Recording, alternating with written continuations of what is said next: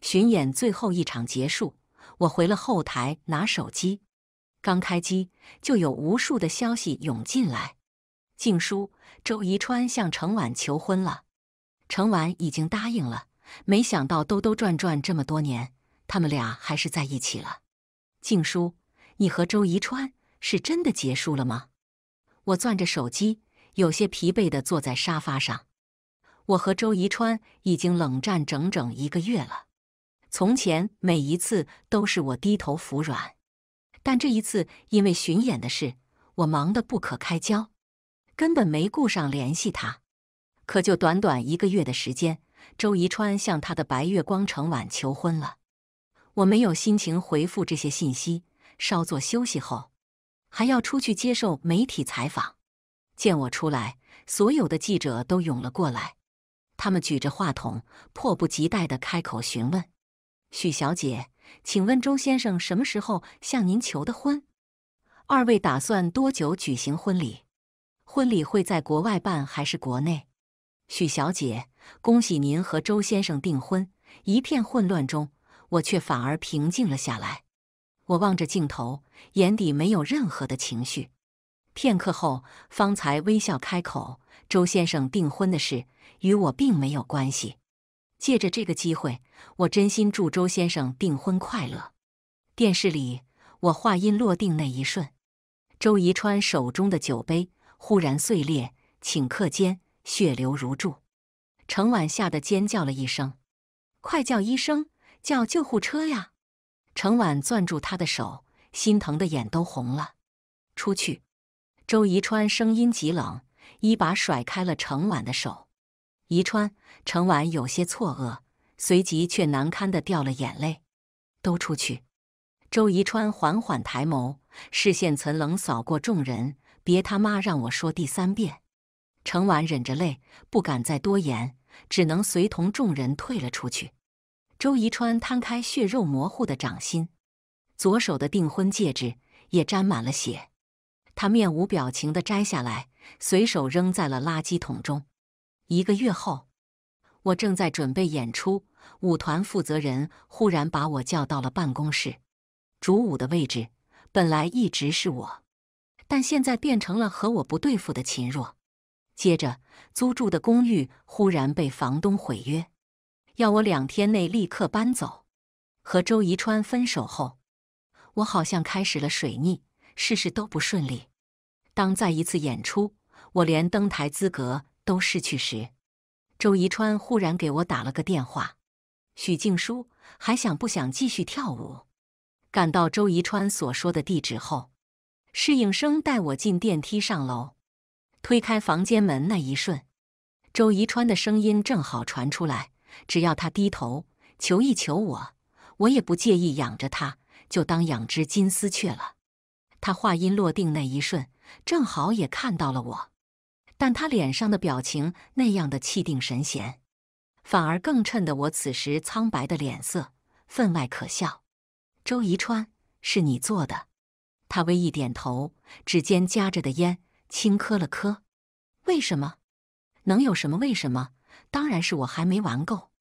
周宜川笑了一声。许静书，就算要分手，也该是我腻的时候。公寓不能继续住，我只能暂时住在了酒店。舞团里的演出一直不让我登台，但每一场我都固执地换好服装等在后台。秦若一开始还对我冷嘲热讽，后来也渐渐懒得再理会我。大家在台上谢幕的时候，我穿着练功服，木然地站在台下暗处。那天我看到秦若从台上下来，如鸟投林一般扑入一个男人怀中，这才注意到。周宜川来了，秦若靠在他怀中撒娇。周宜川摸了摸他的脸，在他耳边说了句什么。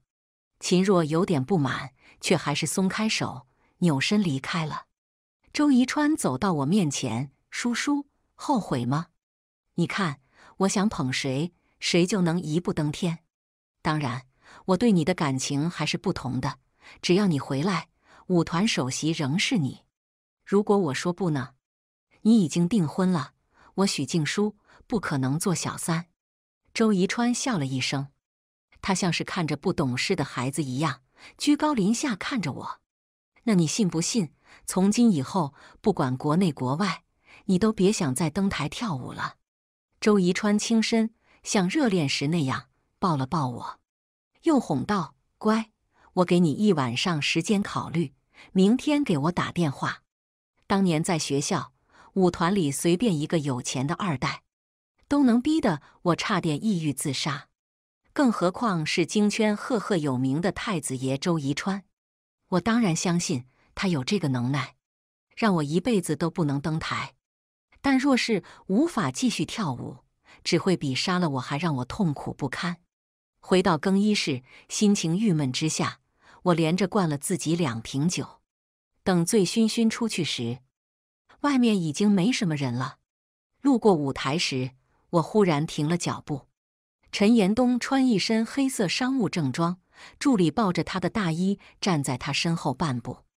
他指尖夹着的烟已经攒了长长的一截烟灰，但他忘了去掸，只是安静望着台上旋转舞动的那一抹纤细身影，直到最后那个身影颓然停下来。接着，他听到了低低的哭泣声。“你先出去，外面等我。”陈延东从助理手里拿过大衣，吩咐了一声。他往台上走去。等我听到脚步声时，陈延东已经站在了我的面前。我仰着脸，泪眼模糊。陈先生，陈家和周家不大和睦。陈延东和周宜川私下从未有任何来往。之所以认识他，也是在一次聚会上遇到，周宜川带我过去敬过酒。毕竟他们这些人明面上的和谐还是会维持的。听周宜川说，陈延东这个人很难搞，钱权色都拿不下他。圈里人私底下常议论，不知哪个女人能摘下这朵高岭之花。陈延东微弯腰，将大衣披在了我身上。发生什么事了？喝这么多酒？我攥着衣襟站起身，刚准备摇头，脑子里忽然闪过一个念头：我无可奈何。周宜川、陈延东呢？陈家可比周家根深叶茂的多。只是陈延东又凭什么为了我和周宜川结仇？失神间，他递给我一张纸巾，先擦一擦眼泪。我接过纸巾，却没有动，任眼泪一颗一颗往地上砸。和周宜川吵架了，分手了。陈延东微一抬眉，不动声色地看了我一眼。送你回去。陈延东的提议我没有拒绝。住哪儿？我报了酒店的名称。怎么住酒店？房东赶人，还在找房子。陈延东抚了抚腕上的佛珠。离这儿不远，我有一套空着的房子，你先搬过去过渡一下。我缓缓抬起微红的眼，看着面前的男人。车厢里光线晦暗不明，但这男人仍是英朗好看到了极致。我的心脏忽然极快地跳动了几下。不会给您添麻烦吗？不会。车行半路，我刷到了秦若的朋友圈。排练演出很累，但特别满足。明晚演出见哦。谢谢我家亲爱的送来的鲜花。好美，配图是巨大的花束，卡片署名只有一个“周”字。我面无表情退出微信，看向身侧的男人：“陈先生，介不介意和我拍张照？”拍照。我打开手机相机，调到前置。就这样，您再离我近一点。陈延东微倾身，头发轻蹭着我的额角。我来回调整姿势，最后几乎贴住了他的脸，又比了个耶。按下拍照键时，陈延东的手抬起来，抚在了我的发顶上。陈延东，你很会爱，是谁说你这个人很难搞的？我放大看照片，微醺的许静书很美，陈延东看起来仍有些冷，但颜值实在太顶了。而且他这种成熟男人的摸头杀。简直要把人酥死，我十分满意。我能发朋友圈吗？陈延东颔首，随你。我立刻编辑了一条朋友圈。微醺的夜很美，配图是几张风景照和这张双人合照。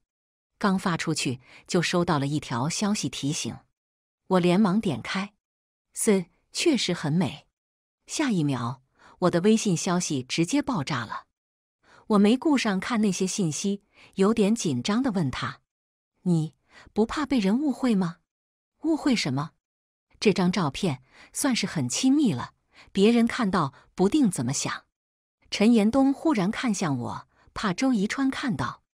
我头摇的波浪鼓一般，不是和他没关系，我是怕给你添麻烦，不麻烦。嗯，陈延东没答，却指了指我手机。要不要看一下信息？那条朋友圈下面已经炸了锅，瑟瑟发抖。叔叔，你旁边的人，如果我没看错的话，是陈延东。不是，救命啊！叔叔，你是给他下降头了吗？他是陈延东啊，他怎么可能和女人拍贴脸照还摸头杀？P 图就没意思了呀！静书，想要踩我一头，也不至于把自己和这位爷 P 一起吧？这条是秦若回的，我刚才特意找朋友鉴定过了，绝不是 P 图，根本没有任何 P 图痕迹的好吗？怎么这么酸？这位爷也是人，不是神仙，是人就有破戒的时候，好不好？说 P 图那个，请问看到星空车顶了吗？全球只有十辆的超豪华限定款，北京城就一辆，车主是谁？你随便打听不就知道了？我说：“诸位，正主不是第一时间评论了，这还能造假？我改个微信名叫森，那我也是陈延东了。”秦若又阴阳怪气了一句。很快有人回复他：“不好意思，这位大姐，我哥有大佬微信，刚才特意找我哥问了，就是本尊。”评论区乱成了一锅粥，我觉得头更疼了。陈延东的手机好像也一直在震。我好像真的给他添麻烦了。印象里，陈延东和周宜川不同，他性子特别低调，但这次却被我给弄到了风口浪尖。要不我把这条朋友圈全限了？陈延东微垂眸，修长手指拨了拨腕上佛珠。许静书，他忽然叫我名字，我一怔，下意识看向他。车厢内光影浮沉，我并不太能看清他眼底的情绪。我说了不麻烦，他的声音沉沉响起时，像有电流忽然从心脏爬过。男女之间其实是有一种很微妙的磁场，譬如这一刻，我敏锐的感觉到陈延东好像对我有点意思。圈内人对他的评价常常都是那几个词儿：低调、性子冷、很难搞，尤其不近女色。这么些年。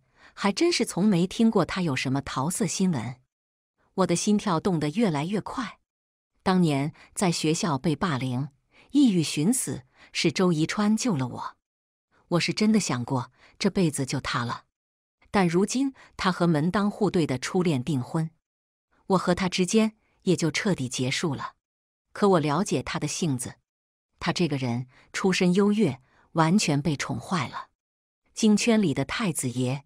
要风的风，要雨得雨。如今我和他掰了，他这样心高气傲的人，这一茬是过不去的。如果我不那么爱舞蹈，如果我不是曾被踩入谷底，差点死掉，也许放弃就放弃了，大不了离开京城，换个职业，不是就活不下去。可对我来说，跳舞比我的命还要重要。我的手指轻轻颤了颤，从酒店拿了行李。接着去了陈延东所说的那套房子，他帮我提了行李箱上楼。开门时，我很轻的问了一句：“要不要进去喝杯茶？”陈延东将箱子放在玄关地毯上。台湾看了看表，很晚了，你好好休息。我有些错愕，整个人呆呆的看着他。陈延东失笑，抬手将我额前的乱发拂开。许静书，明天酒醒了。给我打电话，他说完，竟是直接转身走了。直到房门锁上那一刻，我才羞耻的回过神。陈延东，他好似根本就没有那个意思，完全是我自己自作多情了。第二天睡到快中午才醒，手机上塞满了未接电话和各种信息。还没来得及看，又有电话进来，不小心碰到接听，周宜川的声音夹杂着怒火传来：“许静书，你现在在哪儿？别以为我宠着你、惯着你，你真就能无法无天了。”周宜川，我一开口，才发现自己嗓子哑的不行。你嗓子怎么了？你人现在在哪？别告诉我你真和陈延东在一起。是啊，我现在就在陈延东的房子里。我攥着手机下床，走到窗边，拉开窗帘。这套房子离舞蹈团很近，我很喜欢。你什么意思？许静书，我警告你，闹得差不多了，就自己顺着台阶下来。周宜川，在你和程婉订婚的时候，你就该清楚。我和你不可能了，订婚并不重要，很重要。就算我和他结婚，你想要什么，我也都能满足你。我不需要了，许静书，你最好想清楚了。我早就想清楚了。你以为跟了陈延东就万事无忧？周宜川冷笑了一声：“我跟他不对付，他跟你一起有什么目的？你比谁都清楚。这是我自己的事。”叔叔，别到最后你被人玩弄了再踹掉，可就得不偿失了。周宜川的声音温柔了几分：“你乖乖回来，昨天的事儿我就既往不咎。你喜欢跳舞，我把你们的舞剧院买下来，从今以后每一场的首席都是你，好不好？”周宜川，你去捧秦若吧。我笑了一声：“别换着号码给我打电话了，你不累，我拉黑人都累了。”说完，我就挂了电话，顺手将这个号码也拉黑了。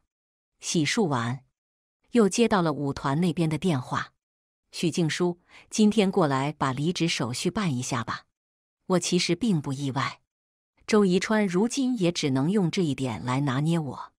我马上过去，只是挂了电话，心里还是有点难受。大四，我考进了北京最好的舞剧院之一，入职半年。成为舞团首席，我凭自己近二十年的努力走到今天，但失去一切却也只是别人一句话的事。到舞团的时候，秦若他们正在排练，我站在门外，一时看得失神。只要我低头，就有转圜的余地。但是去做情人金丝雀吗？我妈怕是会气得从棺材里蹦出来掐死我。离职手续办好。走出舞蹈团时，我还是没能撑住，躲在花台后面哭了起来。刚才主任说的很清楚，只要我签字离职，以后北京任何一家舞团、剧院都不会录用我了。手机一直在响，我不想去看，也不想接听。等到哭够了，我抱了箱子去路边，准备叫车回去。微信忽然进来一条信息四。”静书接电话，电话再次响起，我迟疑了一会儿，还是按了接听。陈先生，有事儿吗？你出去了？去团里了一趟。我的声音里还带着浓浓的哭腔。哭了？没事儿。你现在在哪？刚从团里出来，准备叫车。站那儿别动，我马上过去。陈先生，见面再说。陈延东挂了电话。他到得很快，车子停在我面前时，我就坐在马路上发呆，像个无家可归的小孩。陈延东的司机把我的箱子抱到了后备箱，他走过来，将手递给了我。我仰脸看着他，哭过的眼睛有点肿，一副可怜巴巴的样子。先上车，不用你管我。我却别过脸，眼泪吧嗒吧嗒的往下掉。他没那个意思，为什么让我误会，自寻难堪？陈延东没有开口，但我却听到了很低的一声叹气声。许静书，他又叫了我的名字。是我想管你，可是你昨晚明明拒绝了我，因为我没有把你当成随便的女孩。我怔了一下，却又莫名的，因为他的这句话，心软了一软。陈延东先带我去吃了饭。等我心情平复一些之后，他让人拿了几份资料给我，你看一看这几家舞团和舞剧院的资料。舞蹈方面我不懂，你是专业的，你自己判断想去哪里。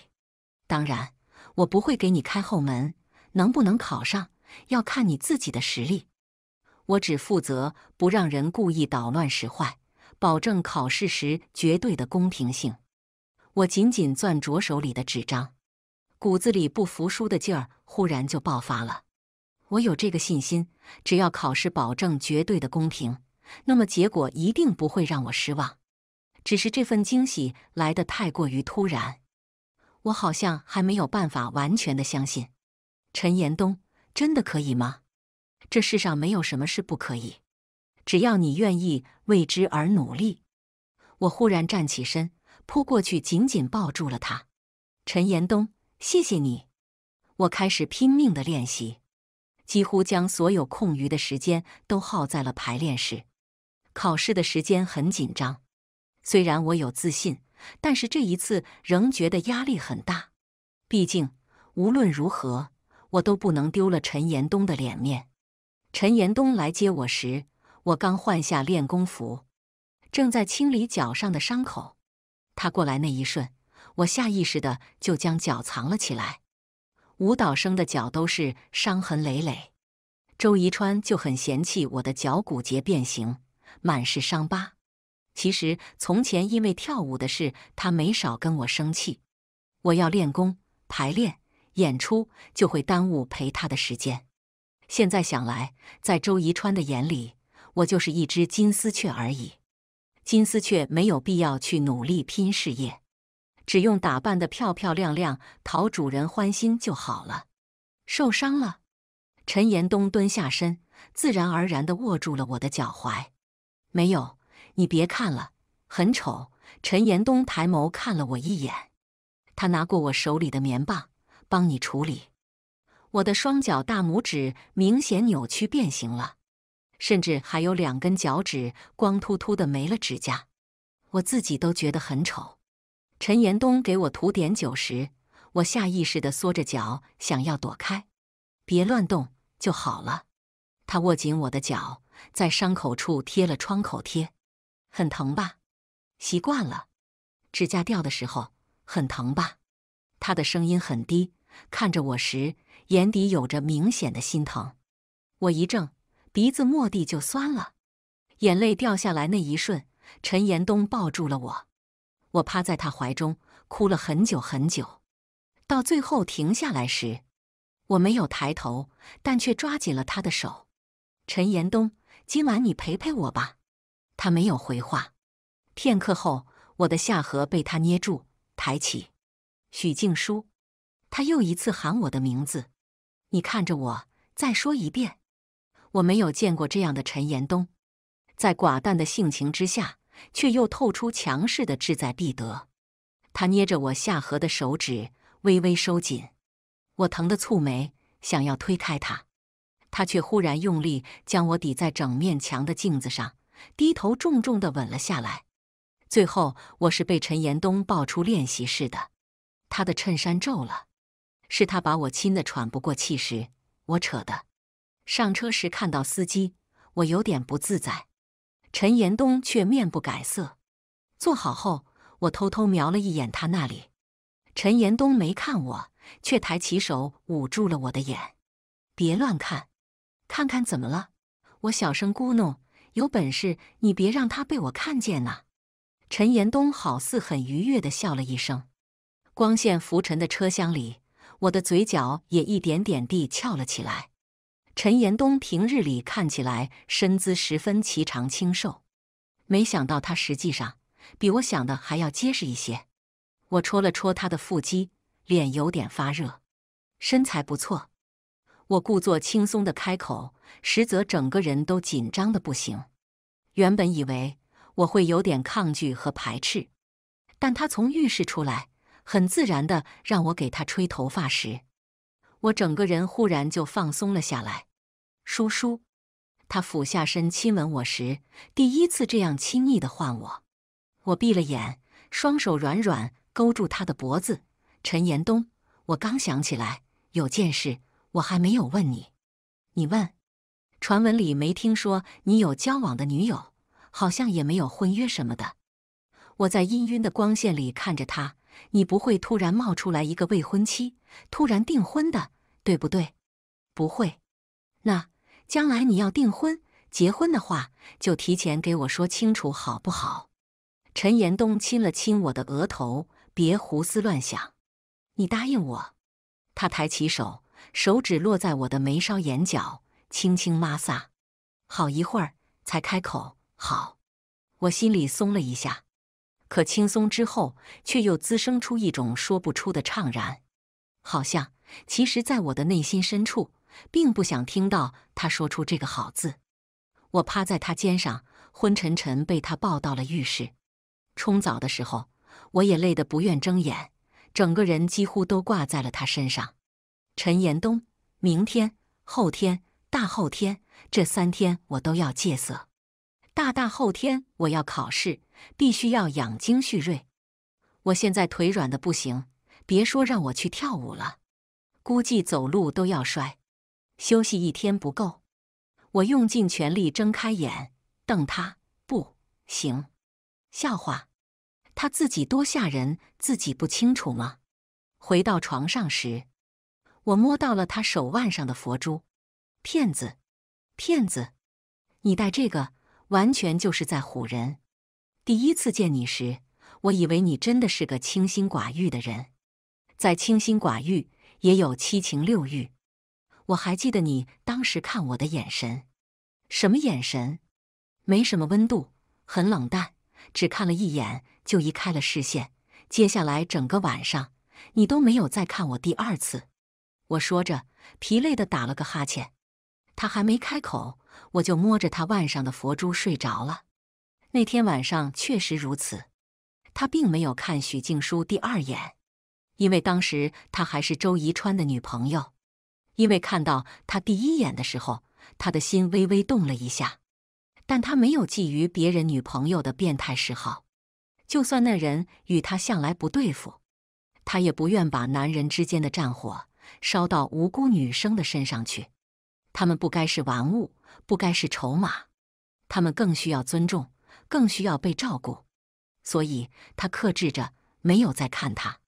直到后来在剧院看完整场演出，却都没有看到他登台，他有些不放心。在观众散去后，又等了一会儿，然后看到了他一个人在台上跳舞，最后又颓然的蹲下身哭泣。他无法控制的就走到了他的跟前。然后一步一步如愿以偿。考试的时候，我选了难度最大的朝鲜舞。业内某一位大师舞蹈家曾经说过，朝鲜舞是最难的舞种之一。他并不建议年轻的舞者选择这个舞种来比赛或者参加重要的考试。学跳舞时，我们老师也打趣说过，朝鲜舞跳得好是大神，跳不好就是大神。其实我也很纠结，学舞生涯中虽然登台跳过朝鲜舞，但总是差了一些韵味。可这一次不一样，心里憋着一口气，我也憋着一股劲儿。练习时，我也敏锐地感知到这股劲儿和心气儿，也许就能让我有一个大的突破。果不其然，考试时我几乎算是超常发挥，音乐声停。甚至几位老师都在为我鼓掌。走下台时，有个女生拉住我，很激动地开口：“姐姐，刚才你在台上跳舞的时候，我好像真的感受到了杀气。你真的超厉害，谢谢你，也祝你考试顺利。”我的心情好极了，这些日子的高压训练和疲累，瞬间一扫而空。换好衣服，陈延东的电话打了过来。陈延东，我向前跑，跑进璀璨的阳光中。在这一刻，好像身上无形的枷锁彻底的摘掉了。那个曾因为能吃苦、够努力而出类拔萃、招人嫉妒的许静书，在被排挤、霸凌到几乎想死的许静书，抑郁症发作靠自残来缓解压力的许静书，在跑进阳光里这一刻获得了新生。我扑到了陈延东的怀中，紧紧抱住了他。看来要提前庆祝了。他稳稳接住我，笑得很淡，但很温柔。走吧，晚上带你吃大餐。我原本以为晚上的大餐只有我和他，却没想到他竟然叫了这么多人来。侍应生拉开包厢大门时，陈延东握住了我的手。房间内众人连忙纷纷起身走过来。延东哥，嫂子，嫂子好，总算见到庐山真面目了。怪不得严东哥你藏得这么严实，嫂子也太美了吧！我有些不自在，忍不住看向陈延东。京城这个圈子，说大也大，说小其实也很小。陈延东和周宜川有一些共同的朋友，这些人在周宜川那里见过我。现在我却又和陈延东站在一起，还不知道那些人私底下会怎么想。都先把烟吸了。陈延东一开口，房间里众人都自觉地吸了烟。他待我落座后，众人方才跟着坐下。这时，陈延东的助理忽然匆匆走了进来。助理过来时，先看了我一眼，方才压低声音道：“陈先生，周先生过来了。”现在人就在楼下，非要上来，下面的人拦不住了。我下意识地抿紧了嘴唇。这些天过得风平浪静的，我都要忘了周宜川这颗定时炸弹。让他上来，不用拦。陈延东气定神闲的开口。我搁在膝上的手细细密密出了冷汗。他握住我的手指，微微用力，似是安抚。助理出去后没两分钟，周宜川就一把推开了包厢的门。他显然刚喝了酒，满身的酒气。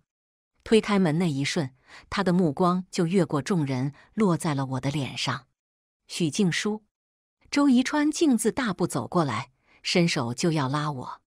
陈延东抬手隔开，声色沉寒：“周宜川，注意你的身份。”我什么身份？周宜川望着陈延东，讥诮冷笑：“陈延东，你追我女人时，注意自己的身份了。你女人？”陈延东将我护在身后，缓缓开口：“据我所知，周先生，你的未婚妻姓程，是程家的大小姐。那又如何？”周宜川双眸猩红：“程婉是我未婚妻，但许静书也是我周宜川的女人，是不是你的？”你说了不算，陈延东，你这是要和我周宜川杠上了是吧？他笑得轻蔑却又残忍，目光越过陈延东，落在我的脸上。他跟我的时候还是学生，还是张白纸，这么多干净姑娘你不要，偏偏惦记我玩过的。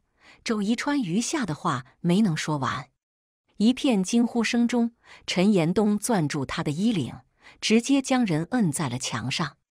周宜川想挣脱，但被直接扼住了喉管。我看到陈延东手背上一根一根蹦出的青色血管，狰狞而又突兀。衣袖卷起露出的那一截小臂，肌肉紧绷到了极致。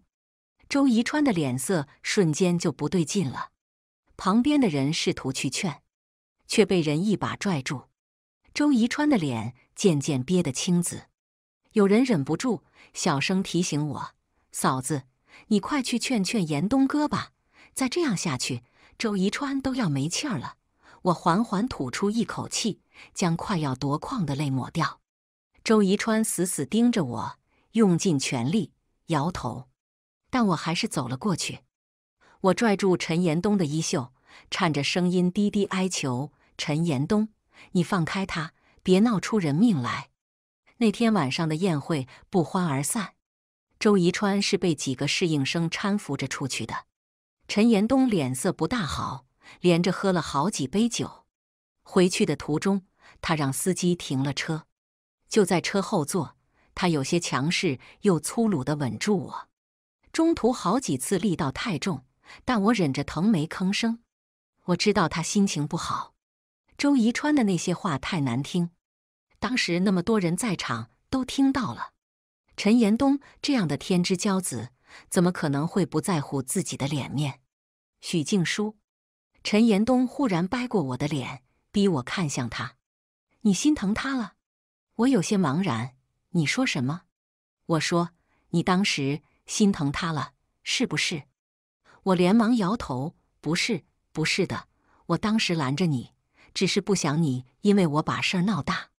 我的解释，他却好似并不太满意。陈延东看着我，眼底染着很深的郁色，但却又很冷。陈延东，他不许我开口，冲撞的力道猛地加重，我疼得瞬间飙泪。陈延东到底还是委屈了，一直死忍着的眼泪汹涌而出。你要是不高兴，我渐渐哭得哽咽，觉得我让你丢脸了。我用力掰他的手，想要推开他。那你就别找我好了，我们一拍两散。许静书，你想都别想。他又掐住了我的脸。低了头，更凶狠地吻我，疼死了！陈延东，你混蛋！我张嘴想要咬他，他却掐住我的腰，翻身让我跨坐在了他腿上。陈延东，我吓得尖叫。陈延东一手箍住我的腰，一手撩开了我鬓边的发丝，他低头轻咬我的耳垂，声音沙哑，在我耳边道：“叔叔，我不许你心里还惦念别的男人，谁都不行。”一周后，我在新的舞蹈团顺利入职。半个月后，我开始参加舞剧演出，并担任剧中的女三号。演出很成功。当晚，我们舞团和举办方就举行了庆功宴。陈延东当时在英国出差，就没有陪我参加，但他让助理送了很多很多的花过来。剧场楼下几乎都被装扮成了花海。庆功宴上。我看到了周宜川的未婚妻程婉，她身边还站着一个很有气质的太太和一个十分漂亮温婉的小姐。只是不知为何，程婉看起来好似有点憔悴，眼睛红肿着，仿佛哭过的样子。许小姐，程婉先开口向我打招呼。程小姐，我也只能点头寒暄。她的目光从我脸上一路下滑。尤其在我腰那里停了半秒，方才笑着对身边的太太开口：“陈阿姨，您看，这位就是许静书许小姐，舞蹈生，又美，身材又好，是不是一看就和别人气质不一样？”她身侧的陈太太立刻看向了我，目光有些尖锐，带着一些警戒审视的味道，莫名的就让人感觉有些不适。你就是许静书？陈太太打量我一番后，方才开口。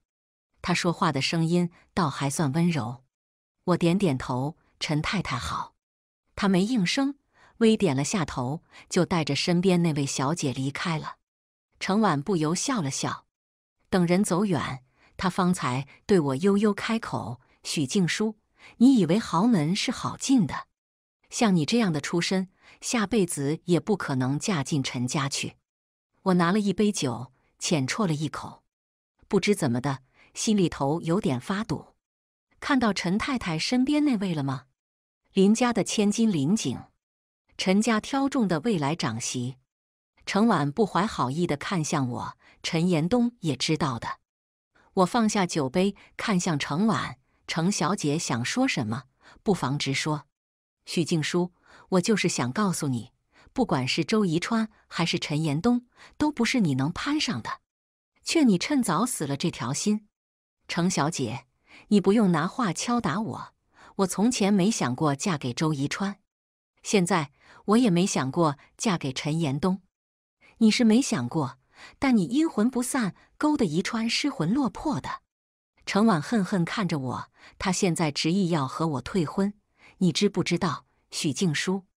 我确实很意外，程婉是周宜川的初恋，和他之后的每一任女友都是不同的。抱歉，我真的不知道。分手后，我也从没有主动联络过他，就是因为你这么快找了新欢，宜川才会放不下你的。程婉说着说着就哭了。许静书，你凭什么这么拿得起放得下？你凭什么不像宜川从前那些女人一样死缠烂打？你要是缠着他不放，他早就腻了烦了。可你这么快就走出来，又攀上陈延东，他只会更不甘心，更铁了心要把你夺回来。我真的觉得很荒谬。男人花心滥情，三心二意，为什么要怪责到被背叛辜负的那个女人身上？又为什么被背叛辜负的受害者就一定要哭哭啼啼、纠缠不休？弃我去者又何必恋恋不舍？程小姐，您冷静一下。我没办法冷静，这么多年了，我看着他一个一个换女朋友。程婉的眼底一片凄楚的茫然。我盼着他收心、回心转意、一心一意。后来他向我求婚，我以为我真的盼到这一天了。可是许静书，他是收心了，也学会一心一意了，但不是对我，而是对你。并不意外，我和周宜川会再次见面。只是让我有些始料不及的是，他变了很多，人瘦了一些，衣衫落拓，神色也带着一些落寞。看我出来，他就掐了烟。叔叔，北京进入深秋了，已经很冷。我紧紧裹着大衣看向他。很久以前，那个坐在天台边晃荡着腿，想着跳下去就一了百了的许静书，是被他拯救的。不管怎样。我和周宜川之间没有生死大仇，他不是个完全的坏人，只是被宠坏了，太任性，太贪心。我已经和程婉提了退婚的事，你应该也听说了。这半年多，我没有和任何一个姑娘不清不楚。那个秦若，我就是故意用来气你的，我根本没碰过他。叔叔，你回来吧，好不好？他穿着我喜欢的白色衬衫。头发修剪的利落又清爽，是我记忆深处周宜川的样子，却又不是。我有些恍惚，又有些难过。他该是交金，又有些狂妄，谁都不放在眼里的周宜川，而不是像现在这样小心翼翼。周宜川，你要学着往前走，向前看，好好和程婉在一起，别再伤害一个无辜的人了。可是叔叔。我对程婉已经没有任何感情，我喜欢的人是你。周宜川神情渐渐激动，是我把你从天台边救回来的。你说过这辈子都会陪着我。是啊，如果没有你，我早就死了。周宜川，我这条命是你救回来的，我这辈子都记得。我是曾对你说过永远陪着你，但是我也说过，我永远都不会原谅背叛。死也不会做第三者。我已经和他退婚了，可是周宜川晚了。你爱上陈延东了是不是？你以为我不能给你的，他就能给你？你知不知道陈家的大门比我们周家还要难进？你又以为他能对你有多少真心？那个林家千金已经在和他谈婚论嫁了。叔叔，只有你还被他蒙在鼓中。我推开周宜川的手，缓缓向后退了一步。这是我自己的事，周宜川，我知道自己在做什么，我也知道自己该怎样向前走，怎样选择。嫁人不是一个女人唯一的出路。你们觉得很重要的，也许在我眼里根本什么都不算。以后别再来找我了，过好你自己的生活吧。我转过身向前走去。深秋的夜风冻得人瑟瑟，但却也让我更清醒。在那天晚上跟着陈延东上车的时候，我已经做出了自己的选择。我清醒而又卑劣地利用着他。我也一直都在心里告诫自己，不要贪图位高权重的男人随手就能施舍给你的礼物和捷径，否则当他们腻了倦了，抽走让你向上攀爬的阶梯。你会很快从半空摔下来，尸骨无存。不如就一块砖一块砖砌自己的阶梯，辛苦一点，但至少是你自己的路，谁都抢不走。可当我走到一个十字路口等绿灯的时候，却突然觉察到自己的脸一片湿冷。我缓缓抬起手摸了摸，不知是在什么时候，也不知道是因为什么。眼泪无声无息地爬满了整张脸。陈延东回来那天晚上，北京下了一场很小很小的雪。我执意要去机场接他，却又臭美的在大衣里穿了很薄的裙子。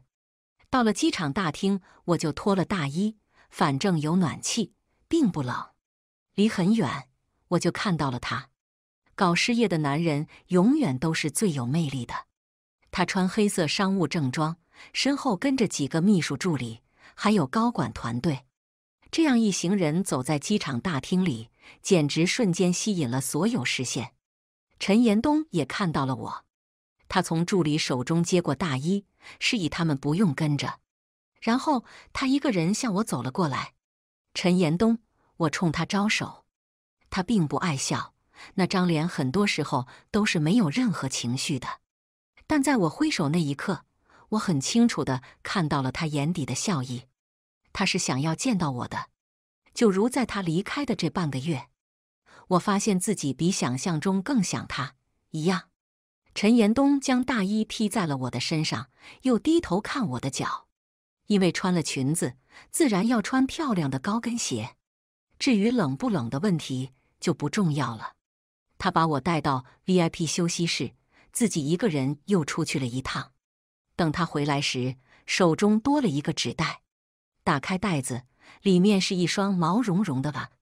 他甚至还细心的给我买了一双羊毛袜子，换一下。外面很冷，我不肯换，我不要。我的裙子和这双鞋子不搭。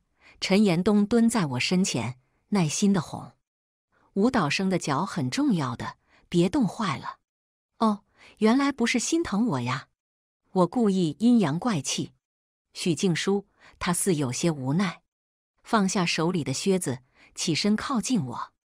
我坐在一张单人沙发上，他的双手就撑在沙发的扶手上。我被他困在靠背和他胸膛之间，整个人立时都被他身上的气息包围，身上还裹着他的大衣。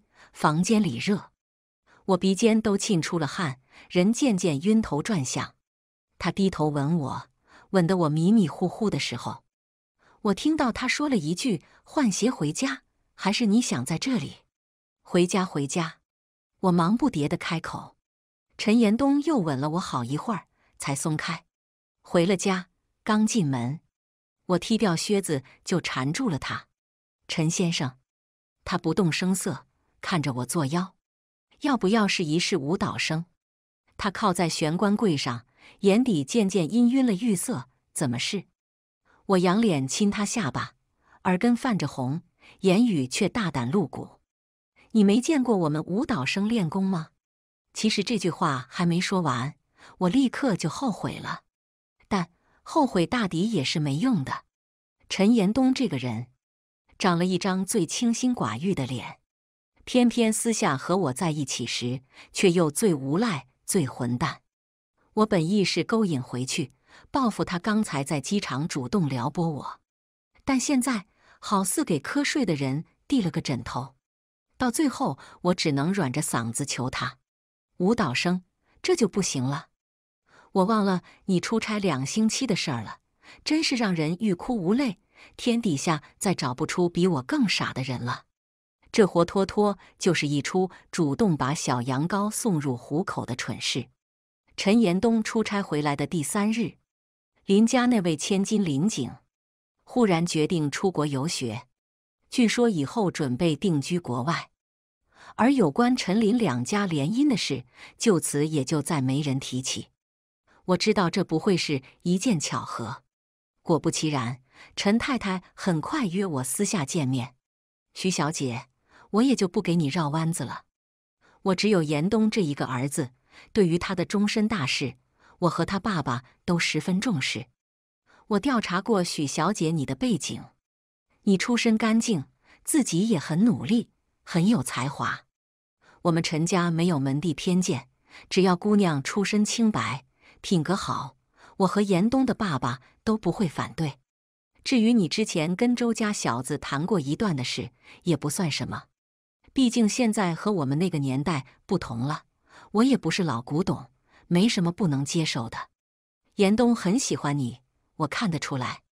陈太太仿佛轻叹了一声：“林景的事儿，你也听说了吧？和林家结亲是我们长辈的意思，但林景很喜欢严冬。”严冬这次出差回来，直接拒绝了他。那孩子挺伤心的，这一走，以后也不会回来了。许小姐，如果严冬非你不可的话，我和他爸爸也不会反对。但我们只有一个要求，您请说，我其实已经想到了是什么要求。无疑，陈太太是个很聪明的人，她没有一上来就羞辱我、讽刺我，或者直接拿钱砸我、逼我离开。她把主动权给了我，让我自己来选择。想必在她对我的调查中，已经确定了一些事，所以她很笃定我会怎么选。如果你要和严冬在一起的话，我希望你能辞掉舞剧院的工作，还有以后也不要再从事这一行。毕竟跳舞需要常年保持低体脂率的身材，不利于怀孕，更不利于后续胎儿的成长发育。我看过许小姐你的体检报告，说实话，你的各项身体指标都不太好，而且徐小姐还有过抑郁症吧？我轻轻点头，是，但我已经停药很久了。陈太太摇头：“许小姐，我只有这一个儿子，希望你能体谅我们做父母的苦心。我知道要你放弃梦想挺残忍的。如果徐小姐愿意，我可以帮徐小姐申请去国外进修。当然，我也会在金钱上给徐小姐满意的补偿。”陈太太的态度很诚恳。更重要的是，她说的这些话并没有错。让人怪责怨恨都不能。陈太太，不瞒您说，我之前也收到了国外几个舞团的邀请，但我一直没有答应。现在我会重新考虑这件事的。您说的没错，放弃梦想对我来说太残忍。我望着他，坦诚轻笑。除了跳舞，我什么都不会。让我放弃继续跳舞，绝无可能。看来许小姐已经做出选择了，我轻点头。只是陈太太，我不需要什么金钱补偿，陈延东已经帮过我很多了。徐小姐，你想过没有，如果什么都不要的话？陈太太叹了一声：“严冬他又怎么可能轻易放下你？”和陈太太见过面之后，我的情绪就一直不大好，因为之前确诊过抑郁症。所以我立刻判断出了自己身体的不对劲，找之前的医生拿了药，但却好像并没太大的用处。接着那天晚上的演出就出了状况。我们演的是舞剧《巴黎圣母院》，我饰演女主角艾斯梅拉达，有很多高难度的动作。旋转到舞台中央时，我的小腹忽然剧烈的抽痛了一下。脚下的节奏瞬间就变得混乱，接着整个人就重重的摔在了舞台上。被救护车送到医院时，我的身下仍在不停的出血，第一时间就被送进了急救室。手术的时间并不长，陈延东赶到的时候，我已经在病房挂水了。他推门进来那一瞬，我的眼泪忽然就决了堤。医生的那些话仍在耳边。剧烈运动导致的子宫肌瘤突然破裂，所以你才会剧烈腹痛、大出血，并不是你认为的怀孕小产。而且你现在的身体状况根本不适合怀孕，也根本不可能怀孕。许小姐，你太瘦了，还有你从前应该是吃了不少含激素的药吧？这让你的身体系统很混乱。当然，如果你好好调养的话，都会慢慢好起来的。陈延东握住了我的手，叔叔，别怕，已经没事了。陈延东，我虚弱的喊他的名字，你抱抱我，抱紧一点，好不好？我选择离开的那一天，正是陈延东最忙的时候，公司最大的项目到了最重要的关头，他根本脱不开身。我给陈延东留了一封信，嘱咐他的秘书。这封信一定要等到公司项目落成之后再给他。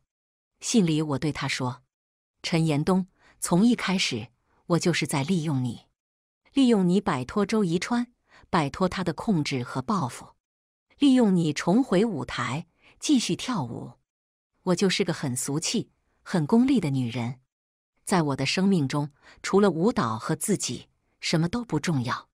当初在学校被人霸凌。”我抓住了周宜川这根救命稻草，后来周宜川订婚，我又抓住了你。我很感谢你对我的帮助，但也就仅仅感谢而已了。我身无长物，能回报你的也就我自己，能给你的都已经给你，所以我们之间不亏不欠，两清了。周宜川曾到国外找过我，我没有见他。我的每一场演出，他都坐在观众席的第一排。他送我无数的鲜花，但我每一次都会想起，在北京的那一次演出，陈延东出差不在，却送了我几乎填满整个剧院的鲜花。而现在，我们已经断联整整一年。周宜川回国前，托人给我递了一封信：“叔叔，从前我很不喜欢你一心扑在舞蹈上。”我嘲笑你跳舞受伤的脚很丑，嘲笑你的职业不上台面，在从前就是个取悦人的行当。我私心里只想让你围着我转，成为我的专属。我自负地认为，就算我娶妻结婚了，你也得留在我身边。我们这样的人养几个女人又算什么大事？可当你真的走得头也不回的时候，我开始害怕了。叔叔，把你的梦毁掉。留不住你，可惜我知道的太晚了。我看这封信的时候，有人敲响了我休息室的门。静书，是团里一位亚裔的同事茉莉，有事找我。我收好信，转身问他，他面上的表情极其夸张。有一位男士找你，我以为又是周宜川，摇头叹了一声，不见不见，不是之前那一个。我的心脏蓦地停了一拍，这个超级无敌帅，你不知道他刚才一出现，我们所有人都看呆了。他应该有一百八十八吧？我就没见过比他穿风衣更好看的中国男人了。最重要的是那张脸，东方人少有五官这样立体的。静书，你不知道刚才他过来，丽萨，那个绿茶立刻就过去搭讪了，我的手指下意识的攥紧了。丽萨是个特别风情万种的金发女人，只要她想勾搭的男人，就没有弄不到手的。茉莉说到这里卖了个关子，静书，你猜那男人什么反应？我怎么知道？嘴上这样说着，我心里却在酸溜溜的想：陈延东挺好勾搭的，丽萨又是真的美丽动人，连我都觉得她的身材无人能敌。茉莉忽然哈哈哈笑了起来。那男人很有风度，但却还是直接拒绝了他。他抱住我肩，一脸八卦的开口：“你再猜猜，那男人怎么拒绝的？爱说不说。”他说：“不好意思，我有女朋友了。”静书，你说他的女朋友是谁？不会是你吧？怨不得你拒绝那个周先生无数次。可是你怎么瞒得这么紧？难道我们不是最好的朋友吗？你来这边都一年了，我都不知道你有这样帅的男朋友。他不是我男朋友，还说不是。茉莉气鼓鼓瞪着我，你手机屏保都是你们的合照，我又不是瞎子，我又不傻，我不知道如何解释。这一切都是事实。我自私却又贪婪，放不下舞蹈，也放不下他。我不愿为了他舍弃跳舞，却又将他偷偷放在心里，在无数个深夜想他想到哭。我这样的女人，活该最后孤寡一人到老。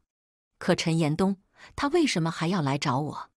我自私又狠心，薄情寡义，说走就走。陈延东从没有对不起我的地方，可我最后怎么对他的？静书，你哭了，所以。你其实就是还爱着他的，对不对？快去找他呀，下去见他。茉莉连声催着我，我擦了泪，缓缓站起身，走下楼，一眼就看到了他。一年不见，他清瘦了些许，眉目之间却越发沉稳疏冷。我的视线模糊的厉害，怎么都看不清楚他了。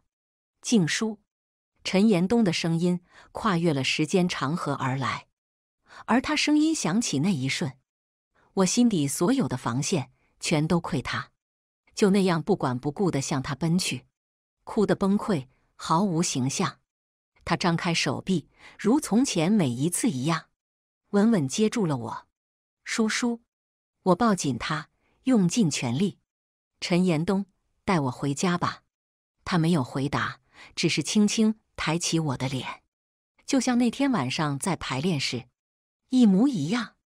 许静书，你看着我，再说一遍。我破涕而笑，可眼泪却又掉得更凶。我如他所说，一瞬不瞬看着他，很大声的又说了一遍：“陈延东，带我回家吧。”他很少笑，可笑起来的他，是疗愈了许静书无数创伤的灵药。他缓缓低了头，额头与我的抵在一起。还跑吗？不跑了。之前跑的这一次就算了。那我补偿你。怎么补偿？我含着泪笑，耳根却又开始泛红。那陈先生，今晚要不要再试一试舞蹈生？